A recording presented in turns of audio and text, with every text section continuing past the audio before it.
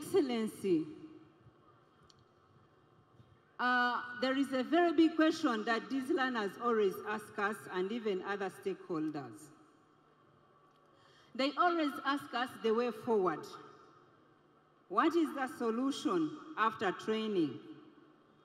But Your Excellency, I want to tell you that if we work together as government, we have so many solutions that I'm going to read here for you.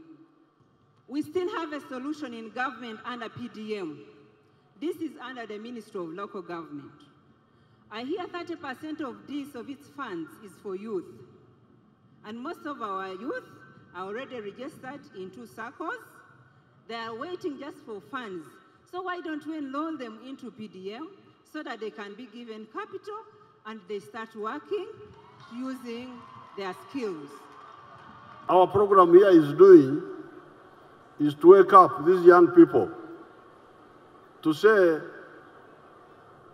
you can make money from satisfying human needs.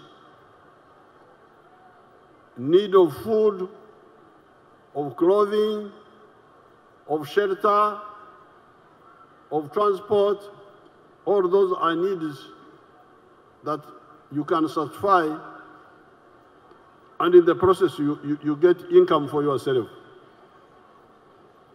and what I was telling them that with my office from 2017, according to what Mama was saying, we have been able to train these young people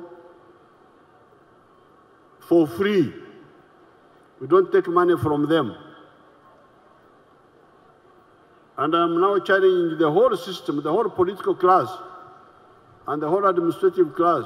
Why can't we introduce free education as we had planned in all the government schools, primary and secondary and technical.